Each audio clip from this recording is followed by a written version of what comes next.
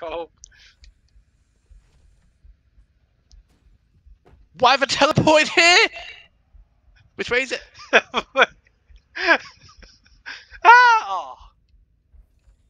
I, nearly, I nearly had it then, by the way. One thinks this is funny when it isn't. If you want to get this done, Ryan,